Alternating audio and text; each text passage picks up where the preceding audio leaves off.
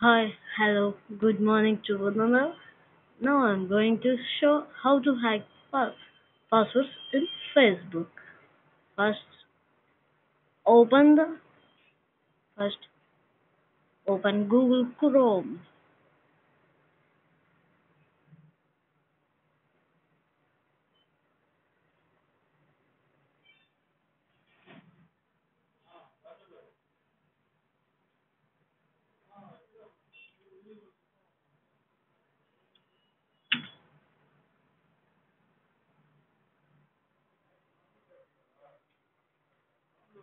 Facebook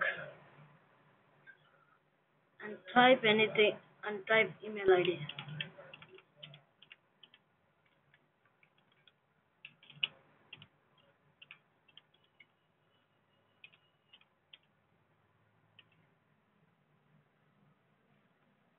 See this. See this. Type an email ID